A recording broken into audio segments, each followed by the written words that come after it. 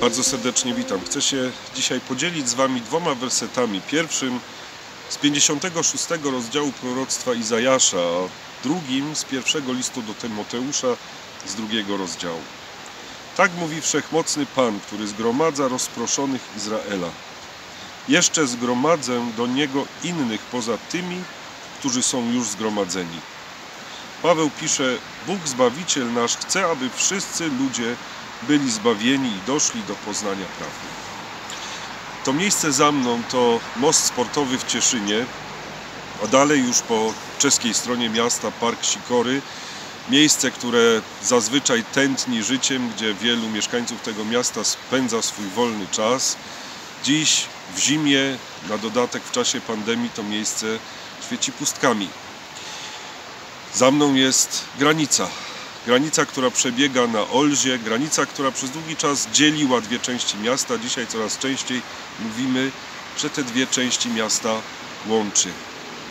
Słowo granica nie pojawia się wprawdzie w żaden sposób w dzisiejszych wersetach, dosłownie, ale mimo to mówi to słowo o granicach i o przekraczaniu granic. Apostoł Paweł był Żydem, faryzeuszem, wychowanym przeświadczeniu o tym, że należy do narodu wybranego, jedynego narodu wybranego, jakim jest naród izraelski. I musiał doświadczyć spotkania ze zmartwychwstałym Chrystusem, aby przekonać się o tej prawdzie, że Panu Bogu zależy nie tylko na przedstawicielach jednego narodu, ale Bóg tak naprawdę chce, aby wszyscy ludzie byli zbawieni i doszli do poznania prawdy.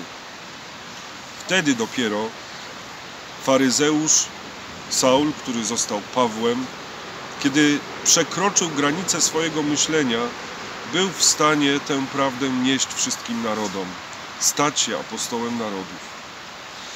Wiara to jest przekraczanie granic. Wiara i chrześcijaństwo to jest spoglądanie na rzeczywistość z drugiej strony granicy, aby tę rzeczywistość lepiej zrozumieć. Bo tak czasem trzeba. Trzeba spojrzeć z drugiej strony, aby poznać Pana Boga, poznać samego siebie. Trzeba przekroczyć granice, aby zrozumieć drugiego człowieka. O tym właśnie mówi Paweł. O tym jest mowa w proroctwie Izajasza. Zaczyna się nowy rok. Życzę, by był dla Was, by był dla nas wszystkich czasem przekraczania granic, czasem dostrzegania z drugiej strony Bożej rzeczywistości. Błogosławionego dnia i błogosławionego ciągle jeszcze nowego